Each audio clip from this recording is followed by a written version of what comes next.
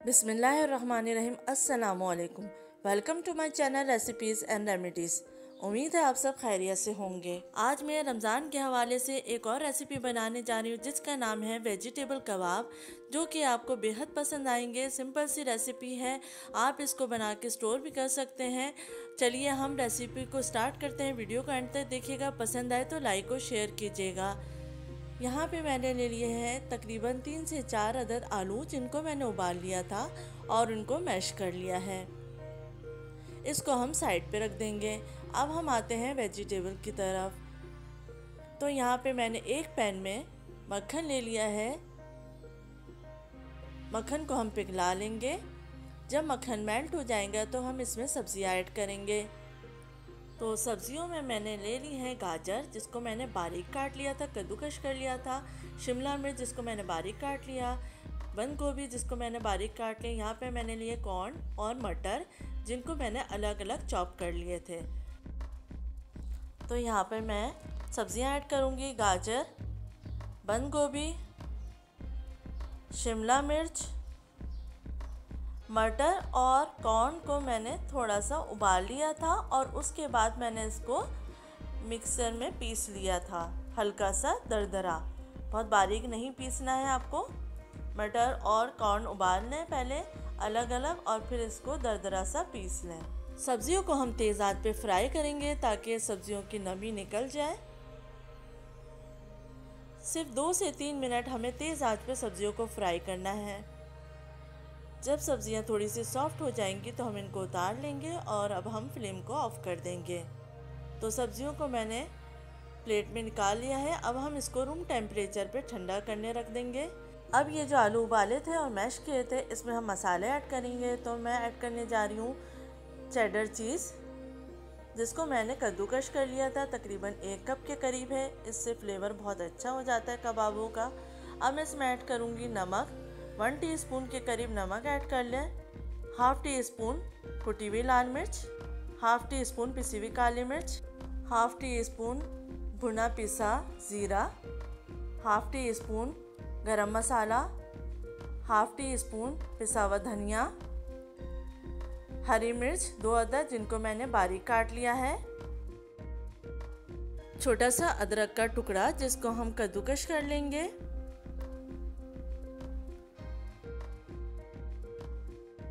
उसके बाद मैं ऐड करूँगी थोड़ा सा हरा धनिया, जिसको मैंने बारीक काट लिया है। सब्ज़ियाँ जो हमने फ्राई की थी, वो रूम टेम्परेचर पे ठंडी हो चुकी हैं, वो ऐड कर देंगे। सब्ज़ियाँ गरम ऐड नहीं करनी है, जब रूम टेम्परेचर पे ठंडी हो जाएँगी, तब हम ऐड करेंगे। अब इन तमाम चीज़ों को अच्छे से मिक्स कर लेंगे। अच्छे से तमाम सब्जियों को मिक्स कर लीजिए। अब बाइंडिंग के लिए हम ऐड करेंगे कॉर्नफ्लावर। तकरीबन टू टेबल स्पून के करीब।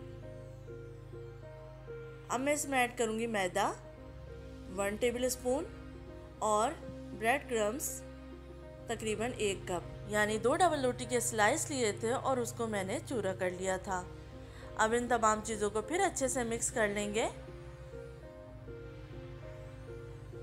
अच्छे से मिक्स कर लीजिए और फिर हम 10 से 15 मिनट के लिए इसको रेस्ट दे देंगे। उसके बाद हम कबाब की शेप बनाएँगे। इन कबाबों को आप बनाकर स्टोर भी कर सकते हैं फ्रीज़र में रमज़ान के लिए। तो यहाँ पे तमाम चीज़ें अच्छे से मिक्स हो गई है। अब हम कबाब की शेप दे लेंगे। तो थोड़ा सा मिक्सर मैंने हाथ में लिया है और इस तरीके से मैं टेबल के ऊपर रोल कर रही हूँ। तो इस तरह से आपके कबाबों की शेप बिल्कुल परफेक्ट बनती है। थोड़ा सा मिक्सर लें और इस तरीके से टेबल पे रोल कर लीजिए। साइड्स को दबा दीजिए हल्का सा। तो बहुत परफेक्ट शेप बनती है। तो तमाम कबाब मैंने बना लिए हैं। तेल को मैंने गरम कर लिया है मीडियम फ्लेम पर।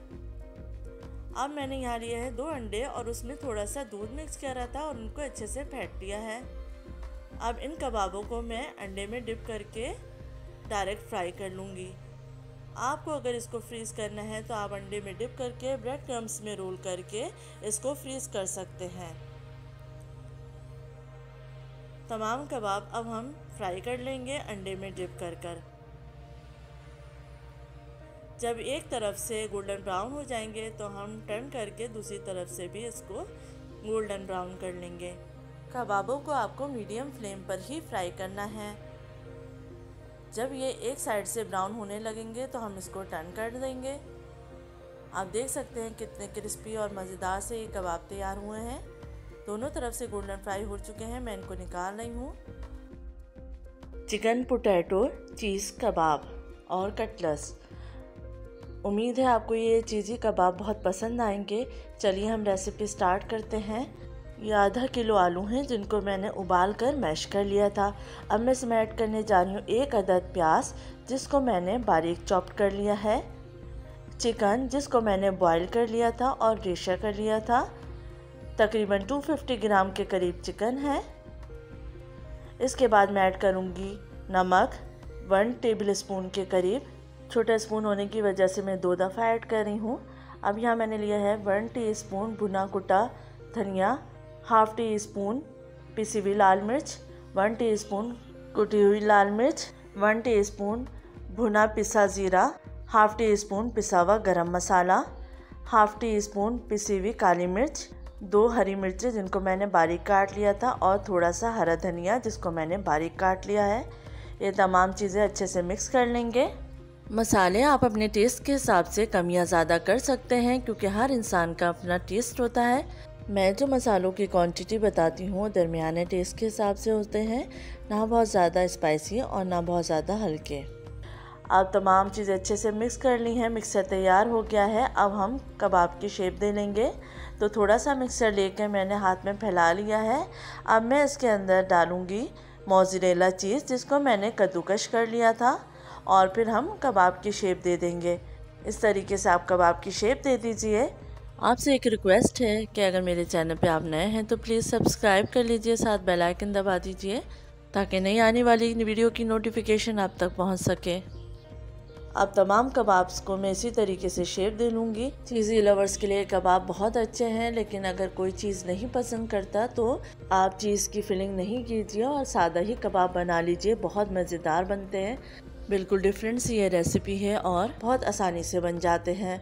तमाम कबाब की शेप दे के मैंने तैयार कर लिया है। अब हम इसका बैटर तैयार करेंगे। तो यहाँ मैंने ले लिया है एक अंडा। अब अंडे में मैं ऐड करूँगी थोड़ा सा दूध, तकरीबन टू टेबल स्पून के करीब। अब इन दोनों चीज़ों को अच्छे से फेंट लेंगे। थोड़ा सा इसमें नमक भी ऐड कर देंगे टेस्ट के लिए। चुटकी भर नमक ऐड किया है, अब इन चीज़ों को बीट कर लेंगे। अब यहाँ मैंने ले लिया है मैदा, अंडा जो हमने बीट किया था और ब्रेड क्रम्स तो सबसे पहले हम कबाबों को मैदे में कोट करेंगे, फिर अंडे में डिप करेंगे और फिर उसके बाद ब्रेड क्रम्स में रोल कर लेंगे। और इसी तरीके से हम तमाम कबाब को तैयार कर लेंगे। इंतहाई मज़ेदार बनते हैं। आप इस तरीके से बना के सेव भी कर सकते हैं रमज़ानों के लिए। तो तमाम कबाब तैयार हो चुके हैं। इस स्टेज पे आप इसको फ्रीज़ भी कर सकते हैं। जब आप फ्रेश कबाब बनाएँ और फ्रेश ही फ्राई करने हों तो थोड़ी देर के लिए फ्रीज़र में रख दें ताकि कबाब सेट हो जाए। तो आधा घंटा फ्रीज़र में रखने के बाद अब मैं इसको फ्राई कर रही हूँ, जब तेल गर्म हो गया और इसको हम दोनों तरफ़ से फ्राई कर लेंगे गोल्डन ब्राउन होने तक। मीडियम फ्लेम पे इसको फ्राई करना है। जब एक तरफ़ से गोल्डन ब्राउन हो जाए तो फिर टर्न करके दूसरी साइड से भी इसको फ्राई कर लीजिए। बच्चों को बेहद पसंद आएँगे, बहुत मज़ेदार बनते हैं।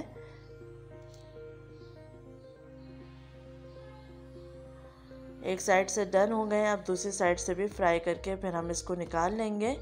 आप देख सकते हैं कितना खूबसूरत कलर आया है और बहुत ही अच्छे क्रिस्पी ये कबाब बने हैं। तमाम कबाबों को मैंने निकाल लिया है। अब मैं आपको तोड़ के दिखाती हूँ। कि किस तरीके से चीज़ मेल्ट होके कबाबों में नज़र आएगी आपको और बहुत ही मज़ेदार ये कबाब बनेंगे। उम्मीद है आपको ये रेसिपी पसंद आएगी। अपना ख्याल रखिएगा फ़ीडबैक देना मत भूलिएगा। अल्लाह हाफिज़। अमरूद की चाट। साथ ही मैं आपको कुछ अमरूद के फ़ायदे भी बताऊँगी। अगर मेरे चैनल पे आप नए हैं तो प्लीज़ सब्सक्राइब कर लीजिए, साथ बेल आइकन दबा दीजिए, ताकि मेरी आने वाली नई वीडियो की नोटिफिकेशन आप तक पहुँच सके।